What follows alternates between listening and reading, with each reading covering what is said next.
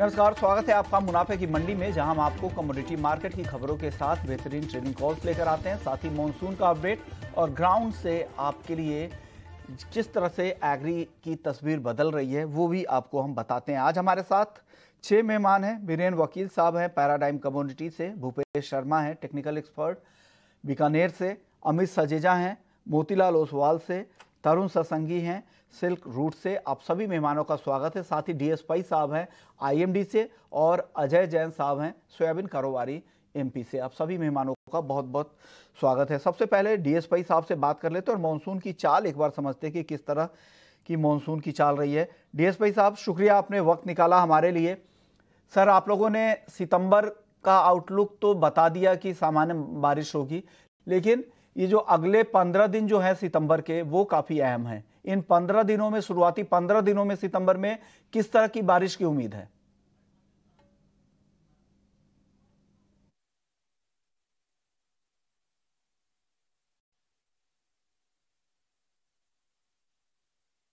Actually even forecast सितंबर का भी बहुत अच्छी बताई आपने। सो नेक्स्ट फिफ्टीन डेज़ का फोरकास्ट uh, ऐसे है कि अभी नेक्स्ट थर्ड और फोर्थ में एक लो प्रेशर सिस्टम फॉर्म होने की उम्मीद है नॉर्थ बे ऑफ़ बंगाल में। इसकी वजह से ये जो मिडिल ऑफ़ सितंबर में रेनफॉल एक्टिविटी पेनिनसुला और सेंट्रल इंडिया में बढ़ने की उम्मीद है। एट द सेम टाइम जो नॉर्थ ईस्ट में बारिश हो रही है ईस्ट और नॉर्थ ईस्ट में ये कंटिन्यू होगा। तो ओवरऑल हमें लगता है कि एक्सेप्ट थोड़ा जो नॉर्थ वेस्टर्न रीजन में महाराष्ट्र जो Karnataka interior Karnataka and some parts of Kerala छोड़ के most of the other region जो eastern part part of the country आता है, ये सभी जगह में नॉर्मल टू अबव नॉर्मल बारिश, यानी सामान्य या सामान्य से ज़्यादा बारिश होने की उम्मीद। मेजर एग्री के बेल्ट है, राजस्थान, गुजरात एमपी महाराष्ट्र, इन राज्यों को लेकर क्या लग रहा है? क्योंकि कई सारे ऐसी फ़सलें हैं जो अगस्त में बारिश नहीं होने की वजह से खराब होने की स्थिति में है और नुकसान 50 परसेंट तक कई फ़सलों को लेकर जताया जा रहा है कि इस तरह की आशंका है। क्या लग रहा है इन राज्यों में किस तरह की बारिश होगी सितंबर में सर? देखिए बारिश तो मिलेगी ज़रूर मिलेगी। फ्यू स्पेल्स ऑफ़ रेनफॉल बारिश मिलेगी ए, एक दो तीन स्पेल का। लेकिन ओवरऑल जैसे हमने जो फोरकास्ट दिया है, वो सामान्य से कम होगा, लेकिन इधर उधर थोड़ी बारिश होते ही रहेगी। पर्टिकुलरली मिडिल ऑफ़ सितंबर जैसे मैंने बताया महाराष्ट्र में भी जो पर्टिकुलरली विदर्भ मराठवाड़ा और कोस्टल एरिया में सभी बारिश होने की संभावना है। गुजरात में भी मिलेगा।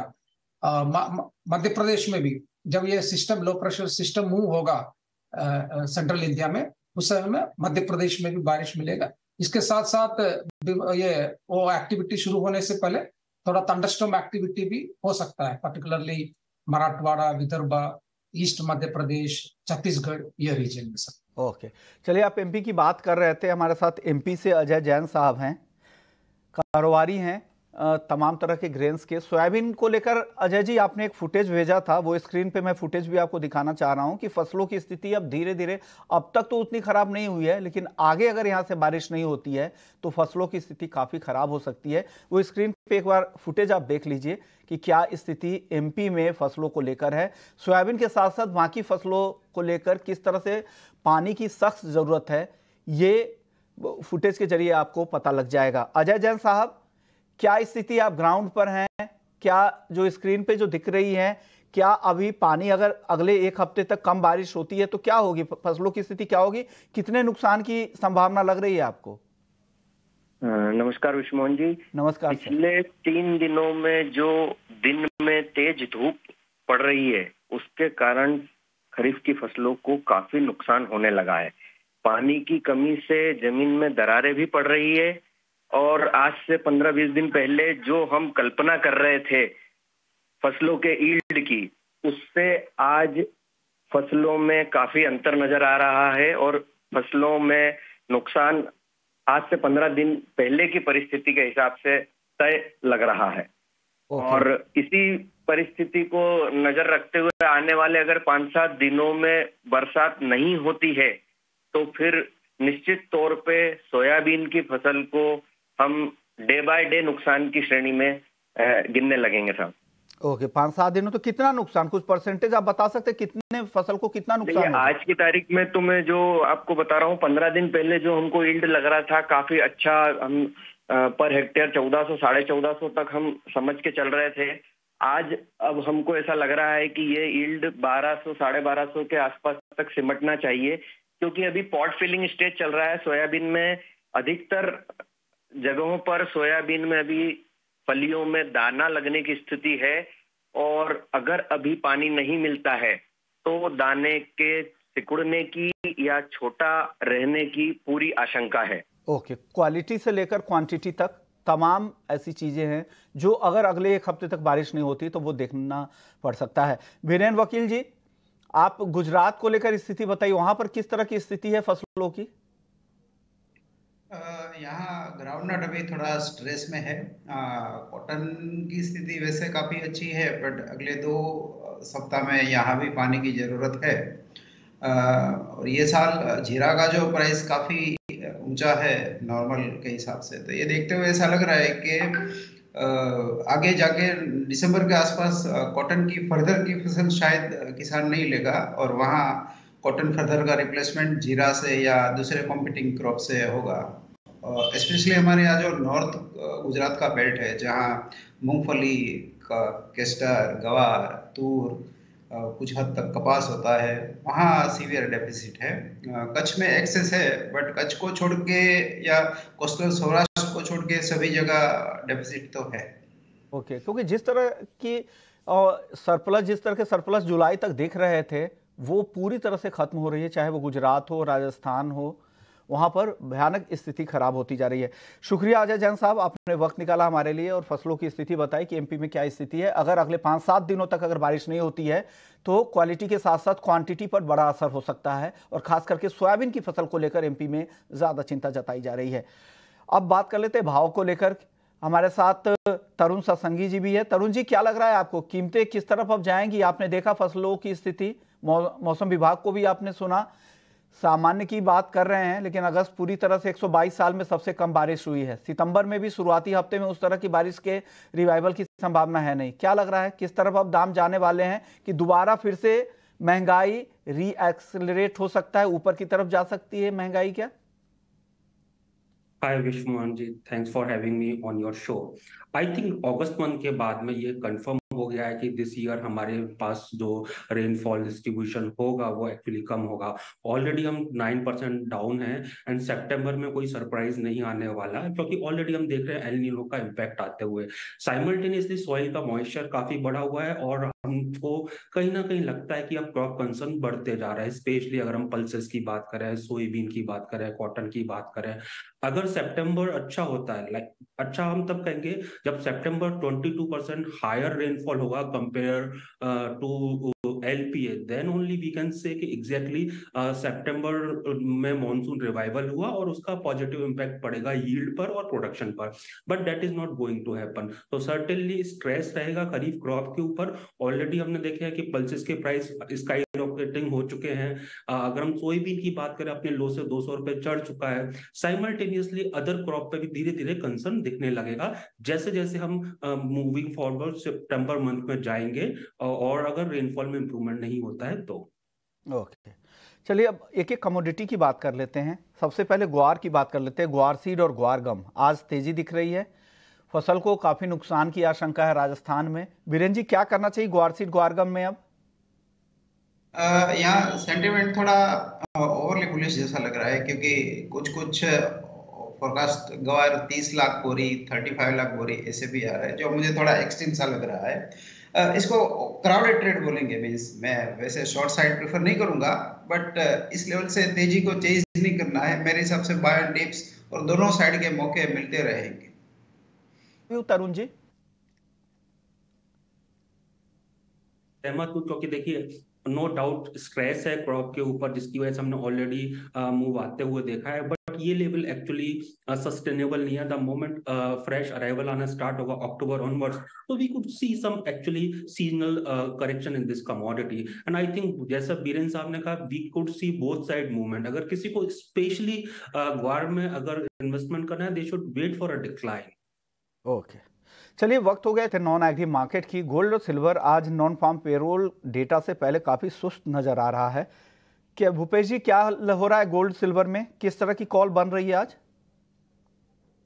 जी, नमस्कार सर। गोल्ड की बात करेंगे तो गोल्ड मुझे एक दायरे के ट्रेड में रेंज में ट्रेड होते हुए समझ आता है और नीचे में उनसठ हज़ार दो सौ, उनसठ हज़ार एक सौ पचास का गोल्ड मुझे मंदा समझ नहीं आता। मुझे समझ आता है कि उनसठ हज़ार तीन सौ दस के आसपास गोल्ड में खरीदारी करनी चाहिए और वहाँ स्टॉप लॉस एक सौ अस्सी रुपए का मेंटेन रखना चाहिए। अपसाइड में हो सकता है बाज़ार उनसठ हज़ार चार सौ पचास और पाँच सौ सत्तर के लक्ष्य दिखाई देंगे। वहीं सिल्वर की बात करें तो सिल्वर का बाज़ार आज मुझे गोल्ड की तुलना में अधिक अच्छा लगता है कंपेर कंपेरिजन करने पर। और सिल्वर में मुझे टारगेट छिहत्तर हज़ार एक सौ पचास और छिहत्तर हज़ार तीन सौ पचास तक समझ आती है। ओके। अमित जी, आपकी कॉल क्या है गोल्ड, सिल्वर पर? जी नमस्कार विश्व मोहन जी। देखिए मैं भी तेज़ी के साथ चलना प्रेफर करूँगा। मेरा मानना है कि गोल्ड में उनसठ हज़ार के करीब अच्छे सपोर्ट्स हैं। नॉन फार्म पेरोल डेटा ज़रूर है और हमने पिछले तीन या चार जो इकोनॉमी रिलेटेड डेटा थे कहीं ना कहीं उम्मीद से कम आते हुए देखे हैं यूएस इकोनॉमी के लिए। नॉन फार्म पेरोल भी अगर इन लाइन भी आता है तो गोल्ड और सिल्वर को एटलीस्ट एक शॉर्ट टर्म बूस्ट मिल सकता है निचले स्तरों से। मैं गोल्ड में 59,200 के करीब प्रेफर करूँगा बाइंग थोड़ा डीपर स्टॉप लॉस 59,000 का होगा एंड साथ ही टारगेट भी जो होगा वो 59,600 का होगा। सिमिलरली चांदी की बात करूँ तो पिछहत्तर हज़ार पाँच सौ के करीब आ, मेरा मानना है कि इमीडिएट सपोर्ट एरिया है तो उसके करीब बाइंग की जा सकती है। Short term target seventy six four hundred होगा और इस ट्रेड के लिए पिछहत्तर हज़ार के नीचे के स्टॉप काफ़ी रहेंगे। ओके। अब कच्चे तेल की बात कर लेते हैं, एक परसेंट ऊपर है। बीरेन सर, क्या व्यू है कच्चे तेल को लेकर? यहाँ से तेज़ी और बढ़ेगी क्या? कल भी हमने देखा दो डॉलर दाम बढ़ गए थे, आज भी तेज़ी है। क्या ये तेज़ी और चलेगी? थोड़ा अपसाइड है इसमें स्पेशली मेना सेक्टर जो मिडल ईस्ट नॉर्थ अफ्रीका जिसको कहते हैं, वहाँ थोड़ा स्ट्रेस आया पॉलिटिकली चाइना में भी थोड़ी रिकवरी दिख रही है क्योंकि वहाँ मंदी की बहुत बातें हो गई। मीन्स मैक्रो डेटा इतना सा बुलिश है सॉरी खराब है। अब ऐसा लग रहा है कि कोई नई डाउनसाइड के लिए कोई नई मंदी का कारण चाहिए। तो फ़िलहाल रिलीफ रैली जिसको कहेंगे, वो दिख रहा है ब्रांड शायद 92 तक जाना चाहिए। इंडियन टर्म्स में हम 7000 7200 तक प्राइस शायद देखेंगे। 7200 तक भी एमसीएक्स पर भाव जा सकता है। ब्रेंड क्रूड 92 डॉलर के भी ऊपर जा सकता है। भूपेश जी, आप आप क्या सलाह दे रहे हैं कच्चे तेल में? जी, कच्चे तेल का चार्ट का स्ट्रक्चर काफ़ी पॉजिटिव बना हुआ है। 6850 के ऊपर जब तक क्रूड ऑयल ट्रेड कर रहा है आज इंट्राडे में, तब तक इसमें किसी प्रकार की नेगेटिविटी के बारे में नहीं सोचना चाहिए। जहाँ भी बाय ऑन डिप्स का मार्केट मिलता है बाय ऑन डिप्स मीन के 6900 6890 के आसपास जहाँ भी मिलता है, वहाँ खरीदारी करनी चाहिए। 6850 के नीचे का स्टॉप लॉस रखना चाहिए। 6990 और 7030 तक के लक्ष्य ऊपर के रखे जा सकते हैं। ओके अमित जी आपकी कॉल कच्चे तेल पर। जी आ, मैं भी तेज़ी करना प्रेफर करूँगा। आ, जो ओपेक की तरफ़ से कटौती एक्सटेंड करने की बात हो रही है आ, कहीं ना कहीं सप्लाई यू नो एक तरह से बैलेंस करने की कोशिश कर रहे हैं और प्राइस को ऊपर रखने की कोशिश हो रही है ओपेक की तरफ़ से। आ, इसके चलते हमने कच्चे तेल में कल भी उछाल आते हुए देखा है और आज भी लगता है कि ये जो रैली है एक्सटेंड हो सकती है। शॉर्ट टर्म बेसिस 6880 के करीब मैं बाइंग प्रेफर करूँगा 6800 के स्टॉप लॉस के साथ। अपसाइड में इमीडिएट टारगेट 7020 लेकिन अगर पोजिशनल बात करें तो मैं भी सहमत हूँ कि 7200 तक प्राइजेस रैली हो सकती हैं। ओके नेचुरल गैस आज एक परसेंट की नरमी दिख रही है। हालाँकि अच्छी तेज़ी आ गई है दो तीन दिनों में। 230 के आसपास अभी भी है। वीरेंद्र सर क्या सलाह देंगे नेचुरल गैस के ट्रेडर्स को? हरिकेन सीज़न काफ़ी एक्टिव है ये साल अमेरिका में और अभी तो we are in the middle of hurricane season थोड़ा रिस्क प्रीमियम इसमें और भी बढ़ना चाहिए। तो टेंटेटिवली रेंज में इसकी 210 250 की मान के चलता हूँ नियर टर्म में सितंबर कॉन्ट्रैक्ट का। ओके चलिए बेस मेटल्स की चाल देख लेते हैं कि आज काफ़ी अच्छी चमक दिख रही है पे बेस मेटल्स में। एल्युमिनियम 204 के आसपास करीब करीब एक परसेंट ऊपर है। जिंक में आधे से एक परसेंट तक की तेज़ी दिख रही है। कॉपर में पौना परसेंट तक की तेज़ी है। लेड भी मज़बूत है। बीरेन सर क्या पसंद आ रहा है मेटल में आज? मेटल सभी पसंद आ रही है। बहुत टाइम के बाद इसमें थोड़ा टर्न अराउंड मुझे दिख रहा है। बट स्पेशली मैं एल्यूमिनियम बीइंग डिस्टेंस मेटल उसमें ज़्यादा प्रेफर करूँगा। ओरिजिनली काफ़ी अच्छा इसमें risk off means risk on risk off के हिसाब से दिख रहा है। ओके भूपेश जी, आपकी कॉल क्या है बेस मेटल्स में? जी, आज की बात करें तो आज मुझे कॉपर बहुत अच्छा लगता है। कॉपर 740 का दाम है। अभी अभी करंट भाव पर भी ले सकते हैं। छह सौ सात सौ छत्तीस का स्टॉप लॉस लगाकर। और पोजिशनली मैं एल्यूमिनियम के साथ जाना चाहूँगा। मुझे उम्मीद है कि 200 201 में जहाँ भी मिलता है या करंट भाव में लेकर 199 का स्टॉप लॉस मेंटेन रखना चाहिए। 207211 के टारगेट के लिए। ओके कॉपर और एल्युमिनियम। आपको क्या पसंद है अमित जी? मैं कॉपर के साथ जाना प्रेफर करूँगा। I think one of the best picks base metals में फ़िलहाल कॉपर दिखाई दे रहा है। शॉर्ट टर्म बेसिस 744 से 45 के लक्ष्य होंगे 736 से 37 के करीब बाइंग की एंट्री uh, में प्रेफर करूँगा। बट ये जो रैली है हो सकता है ये शॉर्ट टर्म बेसिस 750 तक भी uh, दो से तीन दिन दिनों के लिहाज से एक्सटेंड हो जाए। तो कॉपर टॉपिक रहेगी। Okay. Amit ji natural gas में कोई कॉल है क्या आपके पास? जी नेचुरल गैस में मैं बाइंग प्रेफर करना चाहूँगा। हालाँकि ओवरऑल जैसे बीरेन जी ने बताया कि एक दायरे में रहेगा, मेरा भी यही मानना है, लेकिन शॉर्ट टर्म क्योंकि हम उस दायरे के निचले स्टोर के, छोर के ज़्यादा करीब हैं तो 225 224 इस एरिया में मैं बाइंग प्रेफर करूँगा। इमीडिएट टारगेट कल के जो हाई से 234 235 के आसपास वो रहेंगे, लेकिन हो सकता है ये जो रैली है, वो 240 तक भी एक्सटेंड हो जाए तीन से चार दिनों के लिहाज से। ओके, दो के टारगेट के लिए खरीदने की सलाह। तो में अब धीरे धीरे खरीदारी बढ़ रही है। जीरा वायदा डेढ़ परसेंट ऊपर, पचपन हज़ार सौ पैंसठ पे। धनिया में भी ठीक ठाक तेज़ी है, इकहत्तर सौ के ऊपर और टर्मरिक पंद्रह हज़ार दो सौ रुपए के ऊपर एक परसेंट की तेज़ी यहाँ दिख रही है। तरुण जी, मसालों में क्या हो रहा है? ग्राउंड से क्या रिपोर्ट है मसालों की? I think after a decent rally हमने रिसेंटली प्रॉफिट बुकिंग आते हुए देखा था बट स्टिल जो फंडामेंटल्स है that is not change still हमारे को मालूम है कि जीरा नेक्स्ट ईयर ही आएगा supply tightness already is there but को की सब्सटेंशियली जंप कर गए थे तो एक प्रॉफिट बुकिंग आया बट स्टिल हमको ऐसा लगता है कि prices would remain on from higher side अगर मैं बात करता हूँ टर्मरिक का there is a crop concern rainfall जिस तरीके से कम हो रही है, कहीं ना कहीं वो क्रॉप का स्ट्रेस लेके आएगा। दो, आठ से नौ महीने का क्रॉप है, आएगा अराइवल रबी के साथ ही बट कहीं ना कहीं सप्लाई टाइटनेस मेरे को दिखती है और ऑलरेडी हमने देखा है कि प्राइजेस डबल हुए हैं पिछले कपल ऑफ़ मंथ्स के अंदर। तो it will remain on higher side like jeera. अगर मैं बात करता हूँ कोरिएंडर का आई थिंक इसके अंदर भी रैली आनी चाहिए। लास्ट ईयर करीबन ग्यारह बारह हज़ार का भाव था। बॉटम आउट ऑलरेडी हो चुका है and it should remain firm spices complex as a whole मुझे पॉजिटिव लगता है। ओके स्पाइसेस कॉम्प्लेक्स यहाँ से पॉजिटिव ही दिख रहा है। भूपेश जी आपकी कॉल क्या है? इंट्राडे के हिसाब से अगर किसी को ट्रेड करना है मसालों में तो? जी मुझे अभी भी हल्दी का जो मोमेंटम है बड़े चार्ट्स के हिसाब से अभी भी पॉजिटिव समझ आता है। पंद्रह हज़ार चौदह हज़ार नौ सौ पचास में जहाँ भी हल्दी मिलती है वहाँ खरीदारी करनी चाहिए। थोड़ा वॉलेटाइल होने के कारण स्टॉप लॉस बड़ा हो सकता है। चौदह हज़ार छह सौ के नीचे का स्टॉप लॉस रहेगा। आप साइड में पंद्रह हज़ार छह सौ पंद्रह हज़ार आठ सौ तक के लक्ष्य भी देखे जा सकते हैं। ओके मसालों पर आपका व्यू वीरेन सर?